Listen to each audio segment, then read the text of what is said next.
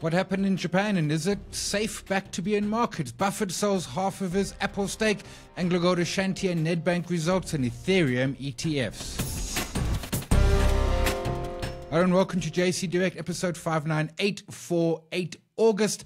I got it wrong last month, last week. I said it was September. Sometimes dates are hard. My name is Simon Brown, and this podcast is brought to you by Just One Lap. So let's start off with the Apple story, because this kind of feeds into maybe the Japan story at the same time, and what we saw happen to a degree on Friday, and then absolutely on Monday. So the the let, us all go all the way actually back to Apple results. They had some results out uh, Friday, and truthfully they weren't particularly terrible by any stretch of imagination. I mean, we've got iPhone sales. They are flat, know, 1% year on year growth. I mean, still 39 odd billion in terms of revenue. Uh, MacBooks, uh, Air Pros, and iMacs, they were up 2%. iPads, 24% year on year. Actually puts them ahead of the, of the MacBook uh, segment. Now, the, the reason for iPads is they had new iPads. What they are finding is that 60% of iPad buyers are first time iPad buyers. I mean, I've got one here. I don't know. I mean, I've owned three. My first was an iPad 2, I think. So, what that takes us back 14 odd years. Mean, they lost my screen's cracked, but it was a small little crack. But anyway, so iPads up 24%, the watch, AirPods, wearables, etc., up 2%. That's all nice. 61 billion in revenue, up 2%. Uh, services. Services up 14%. And that's the real deal. Although there's a caveat in here. So Microsoft, sorry, uh, Alphabet just lost a case uh, against the Department of Justice, uh, a competition com- a case in the US. And part of the trick is, and I'm not going into the nuances of its complex and the like, but part of it is that uh, Apple receives about 10 billion a year from uh, Alphabet to have Google as the default search in Safari and their phones and stuff. So that's 5 billion a quarter. It goes into services, but that still leaves 20 odd billion. Uh, if we take that all the way through, net profit ends up being 21 odd billion, which was only marginally higher, but at a 25% margin, which is nice and chunky. The short answer is your things such as MacBooks, iPads, watches, AirPods, and all of those, they do fine. They bumble along. Uh, you know, I've got a MacBook Pro. I replace it every three years because it's a business product and I can write it down, uh, depreciate it over the time. But mostly, you could keep it a lot, lot longer than that. iPhones used to be a once or twice a year replacement. Now they're on to three or four years. They're slipping in China that's not massively surprising. The Chinese Communist Party's cracked down and said if you work for the Chinese Communist Party, you can't have an iPhone. They don't think it is secure. All in all, results were okay. Services looking good, and in time will become the biggest part of this business, but a bit of time to go the news came out late on uh, when was it late on friday i think after the close on friday in the us that uh, warren buffett had cut his stake or berkshire hathaway in apple in half now let's be clear a couple of things firstly uh, that means that apple is now 20% of the Berkshire Hathaway net asset value portfolio. So it was 40. Maybe he was just taking some money off the table. Uh, this is a stock that has, I mean, this is the 10 year chart weekly. In, in, in, a decade, it's gone from call it $20 to 200 It's a 10 bagger in a decade. But there's a bunch else I want to have a look at here. The first is the PE. And I mean, there's there's broadly, uh, come on, PE, talk to me. There's broadly Mean, there's no polite way of saying this. This is an expensive looking PE. Currently on a 31 PE, if we take this over a 10 year period, it's been more expensive back in 2021. And then we had the NASDAQ, the, the, the, the, the bear market rather. But it's not a cheap stock. And I think that's what we've got to keep in mind. I mean, it's PE, forward PE is 29, 10 year mean is 24 and a half. Price to book has gone completely crazy. Here's one thing I love about Apple their dividend yield is half a percent. It's terrible, but shares outstanding. A decade ago, call it 24 billion, call it now 15 billion shares. They buy back shares aggressively. They absolutely do. The point being is, why did Buffett cut? Did he cut because he's panicking and he wants to go into cash because he thinks that global markets are collapsing? Maybe, but that's not Buffett's style. That's too much trying to time the market.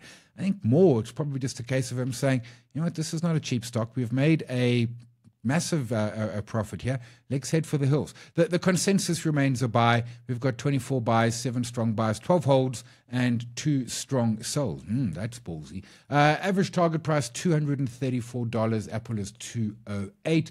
The highs 300, the lows 180. It does actually occasionally hit those low target prices. You can see it there in 21. You can see it there again in 23. So maybe it gets down to around 180.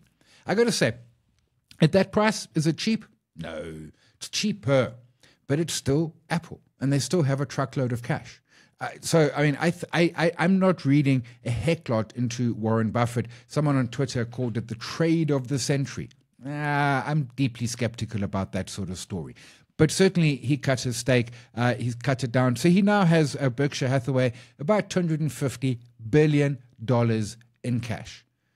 And he could buy tons with that. I mean, I, I, I don't know what he could buy, but I mean, he could buy. I mean, probably, uh, uh, he could probably buy Disney and a whole bunch else, and then still have some cash left over for I don't know, doing what else you want to do uh, with all of that money.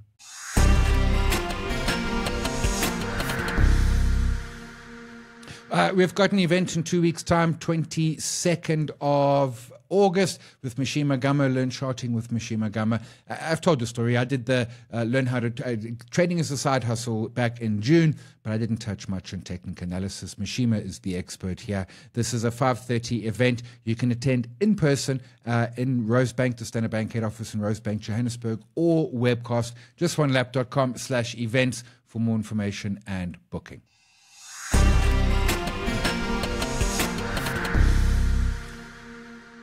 So then, and I started with Apple because there's some views, some theories that uh, Apple is is is you know, and, and, Buffett selling. This was the problem. This is what started the the the, the, the panic selling and everything else. I mean, maybe. I mean, maybe, maybe, maybe. I'm not massively convinced by that at all. But on Friday morning, when I did my show, I noticed Japan down 6%. And I'm like, what the heck is happening here?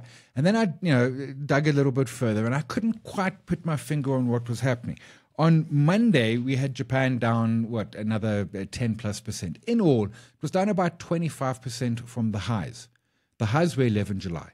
So less than a month, Japan has collapsed humongously. There's just no other way to put it. And then the theories start coming out as to why. What, what is the story? What has spooked markets? Why has Japan suddenly uh, fallen off? And the, the, the sell off was marked. Uh, let me pull up the screen here.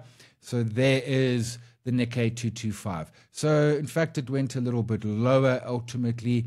Uh, if we pull that down to there and we take that actually to the highs. So it was down almost 27% high to low from, and as I said, that high was less than a month ago. So this is not just, you know, happened in the last minute. Since then, we've had a massively significant rebound. The lows was around 31,000. It's now rebounded to around 35,000.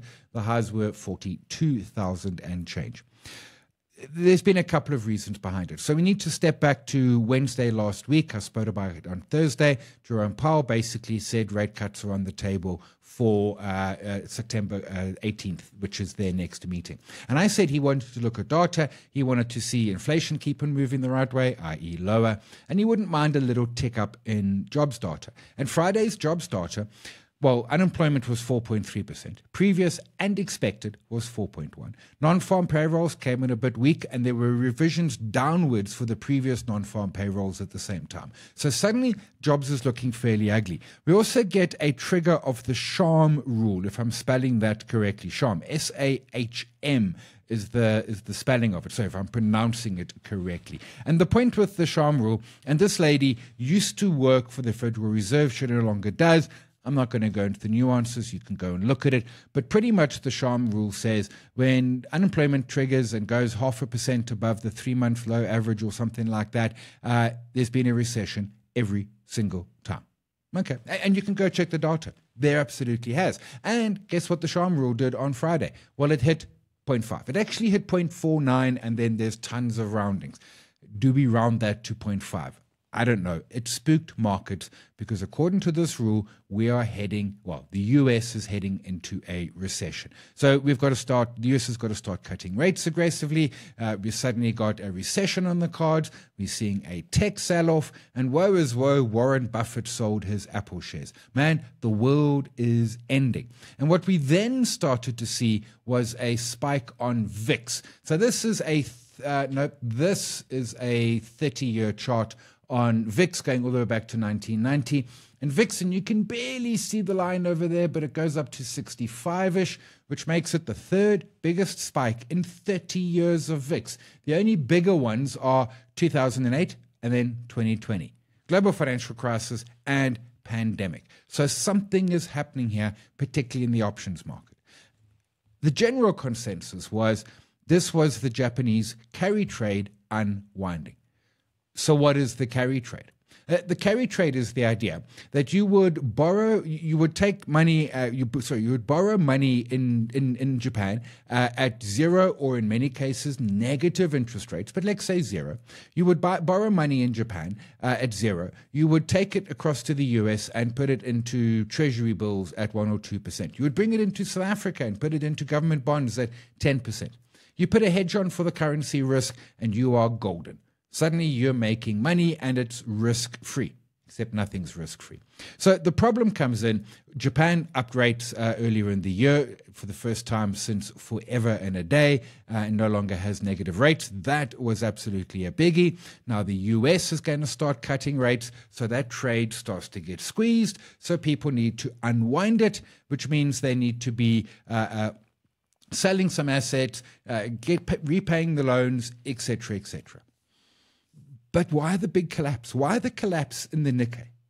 And I tell you what, I suspect the collapse in the Nikkei, because certainly the carry trade didn't help in this scenario. And there's a lot that we can go into around options and where volatility fits in and the gamma and delta trades and the like. And certainly that sort of heightened the VIX move.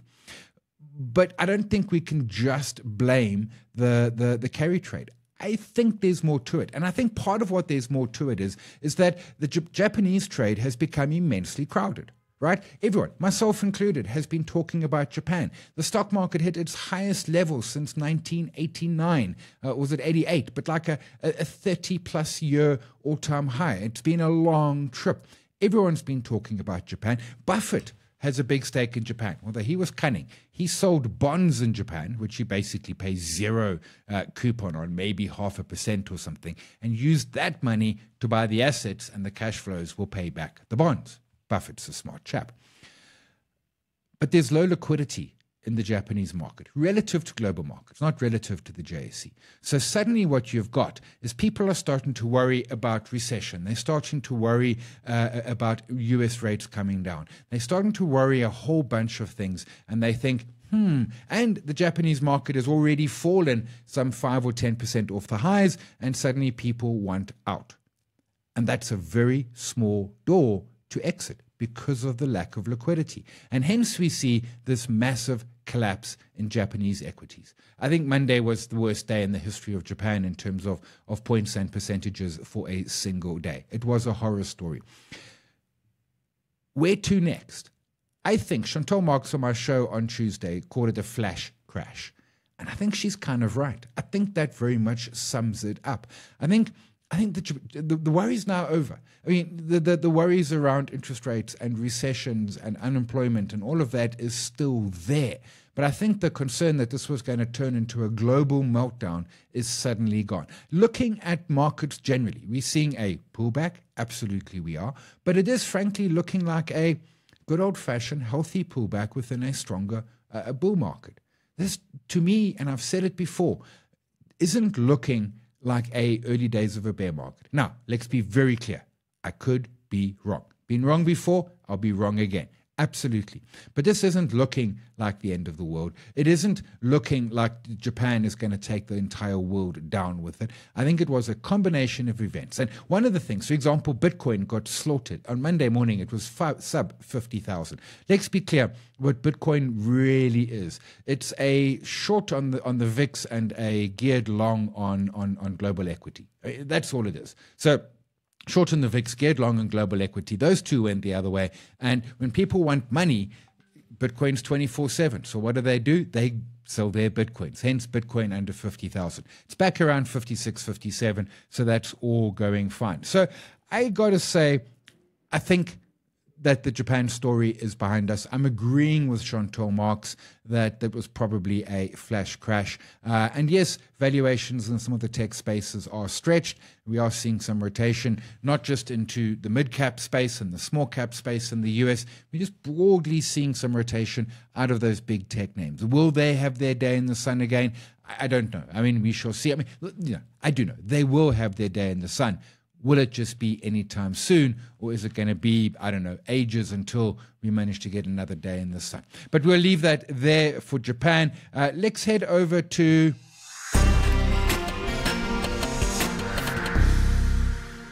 Some results that have been coming through. We had Nedbank results on Tuesday. And I got to say, I thought that they weren't a bad set of numbers. There were some things I didn't love about them. There were some things that I thought were perhaps better than others. And if if if I look at the highlights, um, HEPS up 11%, not bad. Uh, ROE almost 15, getting back. Uh, impairments at 1.04 versus 1.21%. That was a good number. I, I got to say, I was surprised that impairments came down and down so much. Uh, cost to income, which is a number I always look at, 55.3, previous was 52.9. All in all, a good set of numbers from, from, from Nedbank. Yes, the, the, the cost to income is a is a concern. But we've been in a high inflation environment. There are higher compliance costs. Nedbank is still trading about fifty bucks below those all time highs. But uh, we spoke a while ago. It must have been ah, this was a GNU break. Was it a GNU break? No, it even uh, yeah, it was a GNU break. You can see that line there. Uh, sort of re- resistance was around the 240 level. It's broken it quite nicely. Banks generally remain uh, quite strong. This is the banking index, if it would be so kind for me. Uh, the banking index, you can see that nice break there. Uh, and banking index is of itself now trading back at all time highs. So, really good results from Nedbank. And then Anglo Gold Ashanti, which I hold you got to have some gold miners in this market, uh, absolutely, and you got to have just some gold. I will hold some GLD at the same time. Um, but the Anglo numbers were really good. They are producing. They've got all-in sustained costs of around, if memory serves, around sixteen hundred. So they're making about eight hundred dollars per per per ounce. And, and it's not just Nedbank. I think we had Harmony out earlier today as well. The short answer is is that results are coming in good for the gold miners, and they will continue as long as gold stays where it currently is. We had Mishima Gama on Insider Exchange with Jimmy Moyaha last week, and she says target is 2,680 in the sort of short term, you know, maybe by the end of the year, 2,680. We will, of course, see some pullbacks. I mean, that's just you know bog standard for the course. Pullbacks are not to be unexpected, but it stayed within that that sort of range. Let me haul up a gold price here. Uh, you can see quite clearly, and let me move that to a weekly because that's how we should be looking at charts. You can see that that box that's essentially sitting there, the triangle. It's broken up, made highs, it's come back into it. It might even go back to the bottom of it, which is around 2290. But as long as it stays in that box, gold's trend is still nice and mighty. If it breaks that 2170 and if it breaks that uh, 2060 are sort of your next target. But gold is doing perfectly well, and you want to be holding some gold. All those worries, etc., on Monday, and there was gold sitting at all-time highs above 2,500, and it it helps uh, the portfolio make no mistake. Uh, we've also got Interestingly, the US, if you remember at the beginning of the year, the US approved uh, ETFs, SEC, Securities Exchange Commission, approved ETFs on Bitcoin and they've now approved ETFs on Ethereum. So there are eight of them that have come to market. We've got a list of all of them, justonelap.com slash ETFs. They're, of course, not trading on the JSE. They trade in New York. You've got to find a New York broker who can trade them for you. Ethereum's interesting. Firstly, its blockchain is proof of stake rather than proof of work. So it's a green uh, crypto, and they did the transition from proof of work to proof of stake, and that went perfectly smooth. And secondly, the actual blockchain itself is used for tons of things. I mean, NFTs were all embedded into it now. NFTs have completely collapsed into nothing. But Ethereum's an interesting one. I don't hold it. I just hold some good old fashioned Bitcoin. I keep it nice and simple. I don't need to be too fancy in that regard. Uh, but we will park that there for now. JSE is a registered trademark of the JSE Limited. JSE Direct is an independent broadcast and is not endorsed or affiliated with, nor has it been authorized or otherwise approved by JSE Limited. The views expressed in this program are solely those of the presenter and do not necessarily reflect the views of JSE Limited. That came louder than I thought. Uh, so, my name is Simon. We'll be back again next week. Uh, very advanced heads up. First week of September. I'm at the beach. There won't be a show. But my name is Simon. Look after yourself. And if you can, look after somebody else as well. Cheers, all.